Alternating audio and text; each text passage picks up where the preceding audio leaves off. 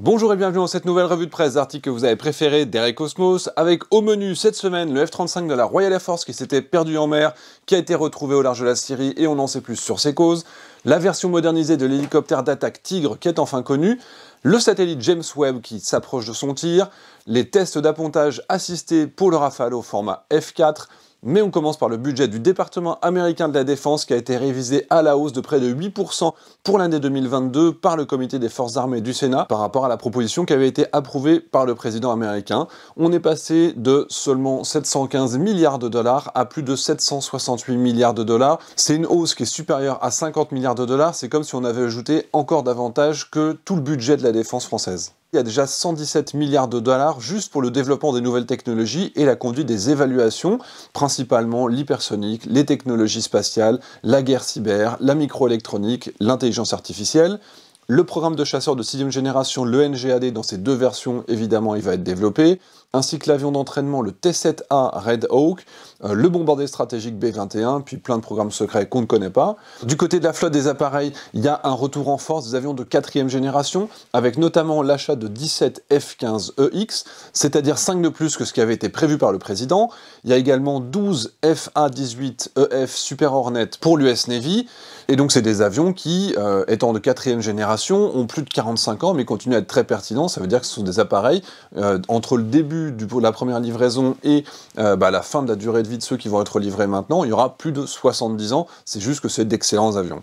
Surtout, quand on reste sur les appareils de quatrième génération, il y a une interdiction formelle de sortir de la flotte tout A10 supplémentaire, le Thunderbolt 2, et ça, ça va à l'encontre de l'avis de toute l'Air Force, du secrétaire général de l'Air Force, Frank Kendall, qui a plaidé pour le retrait euh, de l'A10 encore samedi dernier mais c'est simplement que c'est un avion qui est robuste, qui est pas cher, qui est très apprécié, qui est efficace en close air support, c'est-à-dire en appui-feu euh, pour les personnes qui sont au sol, et c'est révélateur aussi que son successeur, le F-35, n'a pas la confiance de ses utilisateurs. Du côté du F-35, justement, ce choix euh, bah, de renforcer la flotte d'avions de, quatrième génération, de la renforcer, de la maintenir, de la prolonger, tout en accélérant également l'arrivée de l'avion de sixième génération, le NGAD, c'est simplement une confirmation que l'avion a des difficultés. Ça se fait à son détriment. Il y a seulement 48 achats pour l'US Air Force sur l'année et 37 pour euh, l'US Navy et pour le corps des marines. Il y a même un ultimatum contre le F-35. S'il n'y a pas une baisse drastique des coûts de position de l'avion d'ici 2027, il y a une flotte qui sera encore plus limitée que ce qu'on avait par le passé,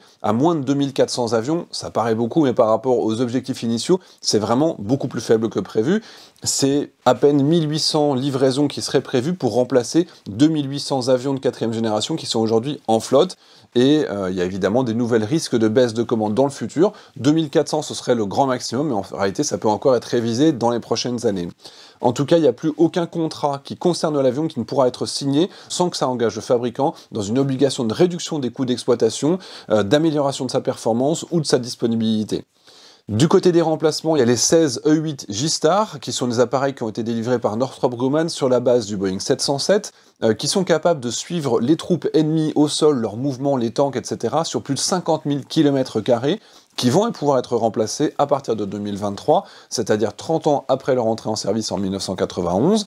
L'appareil choisi n'a pas encore été révélé, euh, mais Boeing serait le mieux placé avec une version adaptée de son P-8 Poséidon de patrouille maritime, qui est un Boeing 737 modifié et qui est équipé d'un radar antenne active AESA et d'un suivi de gestion d'émissions BM2C, c'est-à-dire Battle Management and Command and Control. Il y a également le vieux Lockheed Martin EC130H qui est dédié à la guerre électronique offensive qui est entré en service en 1982 qui pourra être remplacé par le C-37B Compass Call, qui est basé sur un Gulfstream G550, qui est équipé de l'ensemble Sabre de BAE System, qui doit entrer en service en 2024, et le comité autorise aussi le retrait de vieux Hercule C-130 ainsi que de 44 ravitailleurs, dans le détail c'est 26 KC-10 et 18 KC-135, et qui demande aussi des informations rapides sur le programme de renouvellement des ravitailleurs, leur remplacement. Euh, il y a une compétition qui doit se tenir entre le KC-46 de Boeing, qui jusqu'à maintenant avait des surcoûts, des retards et des difficultés de développement, contre euh, le binôme Airbus Lockheed Martin qui propose un A330 MRTT dans une version américanisée, avec même la création d'une ligne d'assemblage directement aux États-Unis. Du côté des drones, euh, il y a un MQ-1 Grey Eagle qui va être commandé pour l'armée et 4 MQ-9 Reaper pour l'US Air Force. Ce budget colossal, permet aussi une augmentation des salaires de 2,7% pour tous les militaires. Et il y a également une hausse du budget dissuasion, notamment dans le Pacifique, euh, qui passe de 2,2 milliards de dollars à 7 milliards de dollars en une année. C'est-à-dire que ça passe devant l'Europe, dans lequel il y avait 4 milliards de dollars qui étaient dépensés chaque année. Et d'ailleurs en Europe, on note également 300 millions de dollars de soutien aux forces armées ukrainiennes. On verra où cette histoire nous mène. On reste dans le militaire avec Airbus Hélicoptère qui a dévoilé la nouvelle version de son Tigre modernisé, le Mark III, qui va être proposé aux forces armées françaises, allemandes et espagnoles. Le C-65 Tigre, c'est un hélicoptère d'attaque franco-allemand qui est opérationnel depuis 2005. Il y a plusieurs améliorations qui sont proposées, notamment sur le mât électro-optique qui est situé au-dessus du rotor, ainsi que des équipements de visualisation qui sont associés. Il y aura un système plus performant de visée des cibles qui est intégré dans le casque.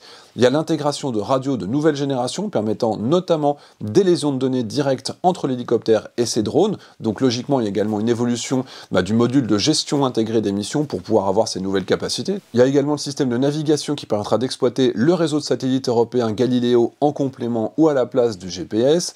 Il y a une avionique modernisée pour intégrer les derniers systèmes de gestion tactique de données du champ de bataille. Euh, on va se rapprocher certainement d'un glass cockpit au lieu des deux écrans multifonctions à la disposition des deux opérateurs.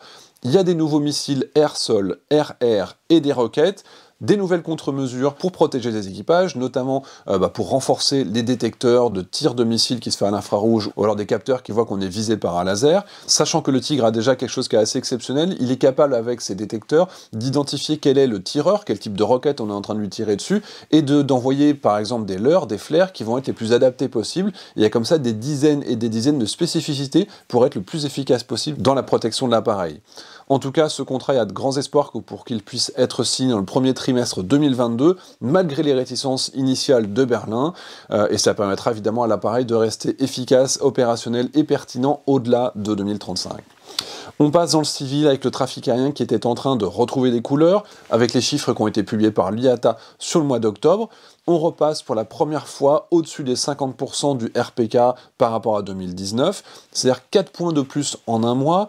Euh, le domestique est seulement à moins 21% de baisse par rapport à ce qu'on avait avant. L'international beaucoup plus important en chute parce a toutes ces restrictions sanitaires, moins 65%. Dans le détail, c'est l'Amérique du Nord qui s'en sort le mieux, avec une baisse de seulement moins 26%, et on parle du mois d'octobre, c'est-à-dire avant la réouverture des frontières internationales, évidemment ça a été un grand succès. Ensuite, on a l'Europe à moins 45%, on a le Moyen-Orient qui est très orienté évidemment euh, bah, sur le long courrier, moins 59%, et l'Asie-Pacifique qui aujourd'hui a beaucoup de contraintes sanitaires, moins 66%. Euh, il y a également des grandes craintes pour que Omicron conduise à une refermeture des frontières, et justement, l'Organisation mondiale de la santé a jugé dans un document technique que les interdictions générales de voyager n'empêcheront pas la propagation de ce variant, tout comme ça n'a pas fonctionné les fois d'avant. On le voit bien, les pays qui se sont totalement fermés, euh, par exemple au Maghreb, ça ne les a pas empêchés d'avoir du coronavirus tout aussi massivement que dans les autres pays. En tout cas, il serait certainement plus judicieux d'imposer par exemple des tests PCR ou le fameux pass sanitaire, euh, plutôt que de rester en cette incertitude, est-ce que les frontières vont de se fermer? Du coup, j'ose pas forcément acheter mon billet. On passe dans l'espace avec le satellite James Webb. Euh, c'est quand même un satellite à 10 milliards de dollars pour l'ensemble du programme, qui est réalisé par la NASA, pour l'Agence spatiale européenne et pour l'Agence canadienne qui doit remplacer le satellite Hubble. James Webb est arrivé au centre spatial guyanais. Il a été installé en novembre sur le sommet des tâches supérieures d'un lanceur Ariane 5 ECA, euh, puisque c'est quand même un satellite qui fait 6 tonnes et demie. Il est colossal, vous n'avez pas beaucoup de choix dans le monde pour envoyer des choses qui sont si grosses. Il y a eu le remplissage des 238 litres d'ergol qui a été réalisé. Ça permettra notamment de maintenir le satellite sur le positionnement du point de Lagrange L2 qui se trouve à 1,15 million de kilomètres de la Terre, à l'opposé du côté du Soleil, et il devrait pouvoir rester au moins 10 ans dans cette position. Dans sa composition, il y a un miroir primaire qui fait 6 mètres et demi de diamètre, qui est tellement puissant qu'il permettrait de voir un ballon de foot à 550 km de distance. Pour rappel, Hubble c'était 2,4 mètres seulement. Il y a 4 instruments scientifiques qui sont placés derrière ce radar primaire. Il y a le NIRIS canadien qui permettra d'analyser la composition chimique de l'atmosphère des exoplanètes, notamment on espère trouver de l'oxygène ou du méthane qui sont des marqueurs de la vie. Il y a l'instrument NIRSPEC de l'ESA qui analyse la composition chimique dans les galaxies lointaines. Il y a le NIRCam américain qui doit permettre de mesurer les distorsions de la lumière dues à la matière noire qui constitue une partie non négligeable de l'univers mais qu'on ne sait pas ce que c'est. Et il y a également MIRI qui est américain et européen euh, qui permettra de trouver des exoplanètes avec un capteur infrarouge, avec un récepteur refroidi à moins 266 degrés et un système de conographe qui permet de masquer les étoiles comme s'il y avait des éclipses. Vous voyez ces images explicatives, je vous mettrai le lien en commentaire, comme ça vous pourrez aller voir cette vidéo, elle est super intéressante. On revient dans le militaire avec le fameux F-35 à décollage court et atterrissage vertical de la Royal Air Force qui s'est craché au large de la Syrie après avoir décollé du pont du HMS Queen Elizabeth. Et on voit cette vidéo qui a été enregistrée euh, bah, sur un écran de caméra de sécurité du Queen Elizabeth.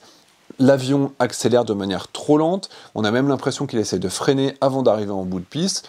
On voit évidemment l'éjection euh, de son pilote, heureusement, et l'avion qui tombe lourdement.